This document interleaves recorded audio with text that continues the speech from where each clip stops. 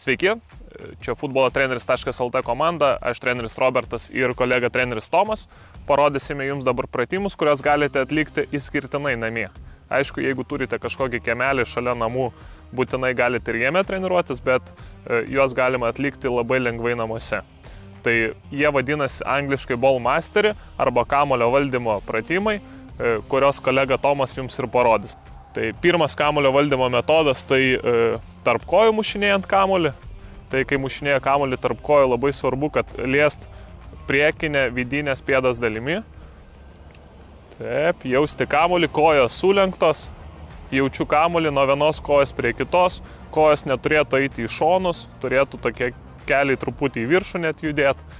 Ir tai labai svarbu jaučiant kamulį ir tuo pačiu ūkdama ir koordinacija kamulį jutimas.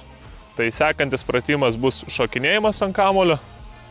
Tai šokinėjant ant kamulio irgi labai svarbu liesti kamulį e, pirštų galais, priekinė pir, e, pėdos dalimi. Taip gali, tuo pačiu turi įdėti rankos. Dar vienas pratimas, kurį parodys treneris Tomas, yra Taip, vienas ritmika. Tai šiuo atveju mes treniruojam ne tik kamulio valdymą, bet ir ritmiką, supratimą, kada man reikia sustoti, kada aš turiu kokį e, veiksmą atlikti. Tai irgi labai svarbu, kad pajausti ir suskaičiuoti, kada aš turiu sustoti, kada aš turiu pradėti ir kiek kartų aš turiu padaryti. Dabar liečiam kamolį tris kartus vidinę pėdos dalimi ir vieną kartą išorinę išorinė e, lėtymas labai svarbu, kad būtų visų kūnų nu, nu, nuėjimas su kamoliu, ne tiesiog pamušimas kamoliu ir bėgimas paskui, bet visų kūnų nueiti, pratesti tą e, mušinėjimą tarp kojų.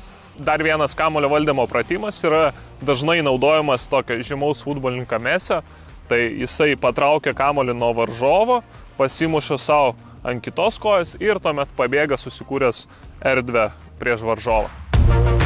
Tai labai svarbu traukiant kamolį truputį susikurti erdvės, susikuriu erdvės, pakeičiu kryptį ir tuomet pabėgu. Galimybių, variacijų ir e, metodų yra labai labai daug. Tiesiog reikia noro ir pastangų ir viskas bus puikiai.